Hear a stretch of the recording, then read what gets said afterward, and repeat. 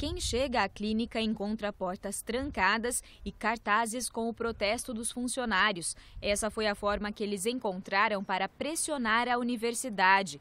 No início da paralisação, há dois meses, a principal reivindicação era o reajuste salarial, mas a universidade cortou o ponto dos funcionários e agora os trabalhadores lutam também para voltar a receber os salários.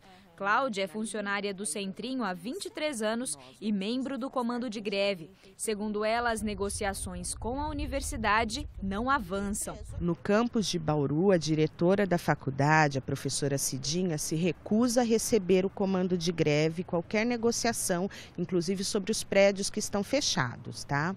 Em São Paulo, foram é, uma comissão de 10 representantes, foi recebida por dois assessores do governador e que se comprometeram comprometeu a intermediar as negociações. A postura do comando de greve é manter a greve, é, não tem arrego. Sem negociação, nós não voltamos a trabalhar.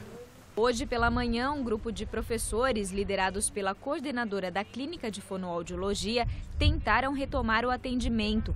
A Polícia Militar foi chamada e um boletim de ocorrência foi registrado.